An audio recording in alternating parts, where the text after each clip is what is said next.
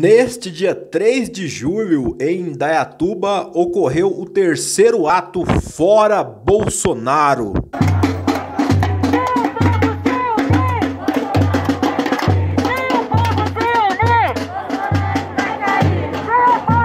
Com fotos e vídeos de Júnior Jacundino, do Levante da Juventude, é possível ver a diversidade do povo indaiatubano, cerca de 200 nas ruas.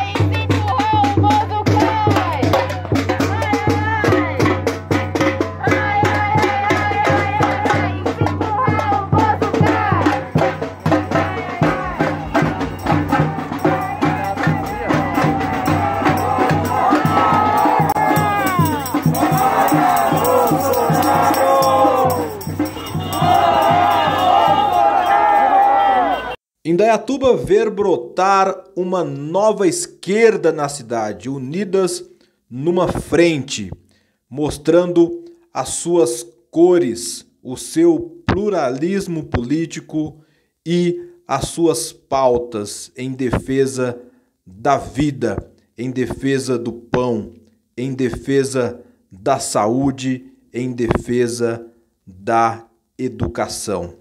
Se gostaram desse vídeo, se inscrevam neste canal Brotar da Semente aqui no YouTube.